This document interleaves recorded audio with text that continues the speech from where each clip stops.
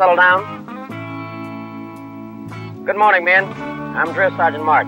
I'll be your drill sergeant for the next eight weeks or until you finish your basic combat training. It's my job as your drill sergeant to see that you get the most out of these weeks. And it's your job, starting now, to absorb the instruction that you receive. You think about it. You'll see it makes sense. When it comes to the Army, I know what it's about, and you don't. So listen and learn. Just a few hours ago, you were a civilian. A couple of hours from now, you'll be in Army uniform, but you'll still be more civilian than soldier. Eight weeks from now, you'll be well trained in the basic skills that every soldier has to have. You'll be ready to go on into advanced training to qualify you in the military special. And you'll be in shape. I'll see to that. From now on, what you're going to be is business.